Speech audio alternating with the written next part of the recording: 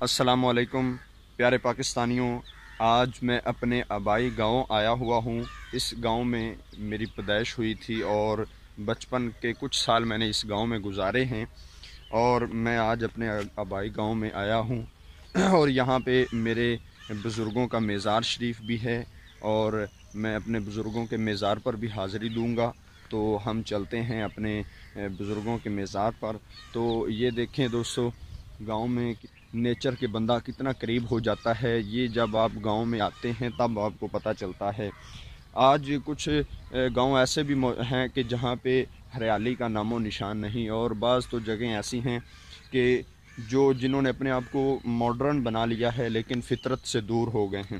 دوستو، جب فطرت سے بندہ دور ہو جاتا ہے تو اس سے روحانیت چھن جاتی ہے۔ اس سے وہ احساسات جذبات اس سے چھن جاتے ہیں جو ایک انسان کے دوسرے انسان کے لیے ہوتے ہیں۔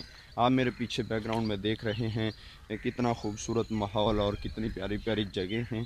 تو ہم اسی ماحول میں آپ کو اپنے دادا جی کے میزار پر لے کے جائیں گے۔ اور دوستو، اولیاء اللہ کے مزارات کی حاضری دینا بھی یہ ایک شرف کی بات ہے۔ اور آپ جہاں جس علاقے میں بھی جائیں تو سب سے پہلے آپ کو کسی اللہ کے ولی کے مزار پر ضرور جانا چاہیے، کیونکہ اس سے دلوں کو تقوی اور پرہیزگاری ملتی ہے، ان کا فیضان نصیب ہوتا ہے۔ اور ضرور وزٹ کیا کریں اپنے مخصوص علاقوں کا۔ تو یہ دیکھیں کتنی پیاری پیاری جگہ ہے۔ تو خوبصورتی فطرت میں ہے۔ آپ فطرت سے جتنا دور بھاگیں گے، اتنا آپ کے اندر سے وہ تمام کوالٹیز نکلتی جائیں گی جو ایک اچھے انسان کے اندر ہوتی ہیں۔ تو اگر کوئی بندہ چاہتا ہے کہ اس کی روحانیت میں اضافہ ہو، تو وہ فطرت کے نیچر کے قریب ہو جائے۔ آپ نے دیکھا ہوگا کہ اولیاء اللہ ان کے اکثر مزارات آپ ایسی جگہ پہ دیکھیں گے جہاں پہ نہ بندہ نہ بندے کی ذات ہوتی ہے۔ مثلا آپ سندھ کے علاقوں میں چلے جائیں، آپ ایس کشمیر کے علاقوں میں چلے جائیں، پنجاب کے دہی علاقوں میں چلے جائیں، تو بزرگوں کے مزار ایسے ایسی جگہ پر واقع ہیں کہ جہاں پہ بالکل بیاباں علاقے ہوتے ہیں۔ تو ان، وہاں پہ بزرگوں کے مزار ہوتے ہیں۔ وہ لوگ فطرت کے زیادہ قریب رہتے تھے۔ فطرت کے جتنا قریب کریں گے، اتنی آپ کی ٹینشنیں ختم ہوں گی، اتنی آپ کی بیماریاں نخستیں ختم ہوں گی۔ تو آپ نے اکثر دیکھا ہوگا کہ جو جانور جنگل میں رہتے ہیں، وہ جانور پنجرے والے جانوروں سے زیادہ صحت مند ہوتے ہیں۔ حالانکہ جنگل میں ان کو ڈھونڈ کے خوراک لینا پڑتی ہے جبکہ آپ ان کو پنجرے میں خوراک مہیا کرتے ہیں، تین ٹائم مہیا کرتے ہیں۔ لیکن جنگل والے جانور زیادہ مضبوط بھی ہوتے ہیں اور صحت مند بھی ہوتے ہیں۔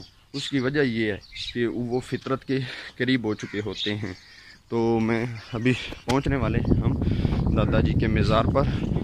بس ابھی میں پیدل چل رہا ہوں۔ آپ دیکھ رہے ہیں۔ انشاءاللہ آپ کو زیارت بھی کروائیں گے۔ تو میں آپ کو دادا جی کے بارے میں بتاتا جاؤں۔ یہ اللہ کے بزرگ گزرے ہیں۔ یہ علاقہ انہوں نے آباد کیا تھا۔ جس علاقے میں میں جا رہا ہوں، بزرگ فرماتے ہیں کہ یہ علاقہ انہوں نے انہیں آباد کیا تھا۔ تو انہوں نے جب آباد کیا تو یہاں پہ جس جگہ میں قیام پذیر ہوئے بالکل کوئی یہاں پہ آبادی نہیں تھی۔ پھر انہوں نے اپنی جگہیں لوگوں کو دیں، لوگوں نے آ کے اپنے مکانات بنائے اور یہاں ایک پورا گاؤں کا ماحول انہوں نے بنایا۔ پھر ان کی وفات کا وقت جب قریب آیا تو بزرگ فرماتے ہیں یہاں کے جو، جنہوں نے ان کو اپنی زندگی میں دیکھا ہے، ان کی قبر پہ لوگ معاملات کرنے لگے کہ کہاں پہ دفن کیا جائے، کہاں پہ دفن کیا جائے۔ لیکن ایک صاحب عقل و دانش اور فہم والے بندے نے کہا کہ بزرگ اللہ کے بندے ہیں اور ان کو ادھر اللہ کے گھر میں ہی دفن کیا جائے۔ تو یہاں پہ مسجد جو انہوں نے بنوائی تھی، کچی مسجد تھی اس ٹائم پہ، تو انہوں نے جو مسجد بنوائی تھی اس کے ایک حصے میں بزرگوں کو انہوں نے دفن کر دیا تو ابھی دادا جی کا مزار مسجد میں ہیں۔ آئیے چلتے ہیں، میں آپ کو اس کا منظر دکھاتا ہوں۔ اب ہم پہنچ چکے ہیں۔ بس تھوڑی ہی، تھوڑے ہی فاصلے پہ جو ہے ہم پہنچنے والے ہیں۔ بس یہ آ رہا ہے، قریب ہی قریب۔ جی پہنچ چکے ہیں، ہم آپ کو دکھاتے ہیں۔ اب تو جی دوستو، ہم مسجد پاک میں پہنچ چکے ہیں۔ یہ ہمارے، ہم اپنے دادا جی کے مزار پر حاضری دیں گے۔ تو یہ ہم انٹر ہو رہے ہیں جناب۔ انٹر ہو رہے ہیں مسجد میں۔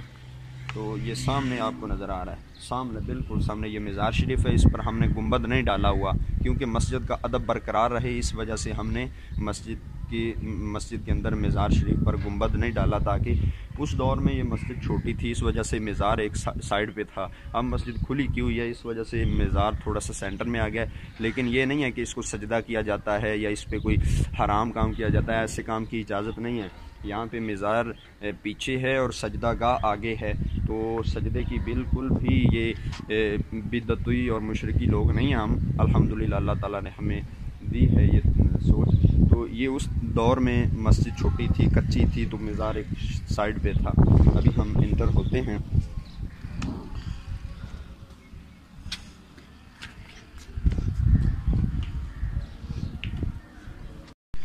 یہ دوستو، مسجد پاک ہے اور مسجد کے بالکل صحن میں۔ ابھی صحن کھلا کیا ہوا ہے، تو صحن میں یہ مزار شریف ہے، اس لیے ہم نے اس کے اوپر گنبد وغیرہ تعمیر نہیں کیا۔ کیونکہ مسجد کا ادب و احترام رہے۔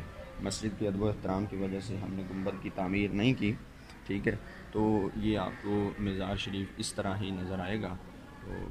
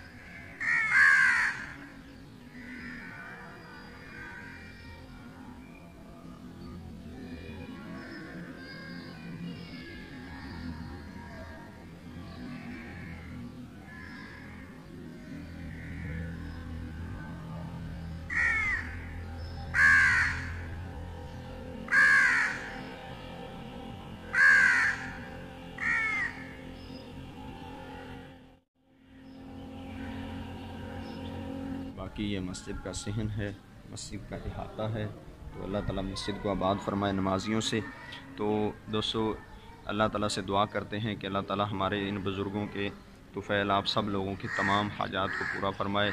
جو جو جس جس معاملے میں دعا کرنا چاہتا ہے، وہ دعا کر دے انشاءاللہ۔